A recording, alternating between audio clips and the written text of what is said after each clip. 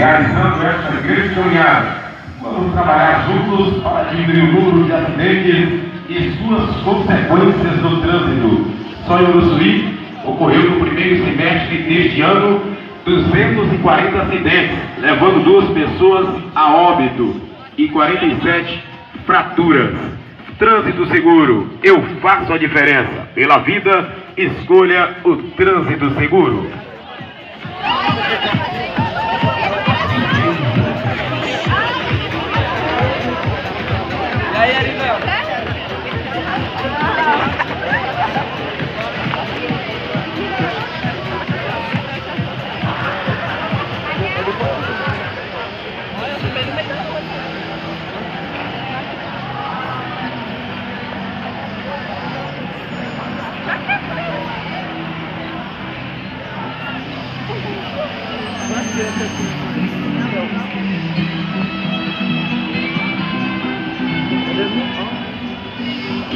Olha, hoje é o Dia Nacional do Trânsito.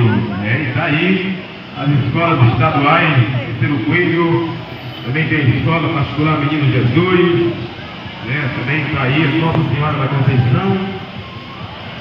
Todos aí nessa caminhada, caminhada essa que tem o Dia Nacional do Trânsito.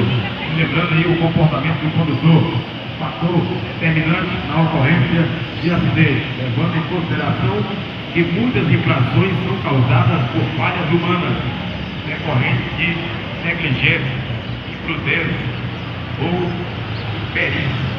Vamos trabalhar juntos para diminuir o número de acidentes e suas consequências. O objetivo é cumprir diretamente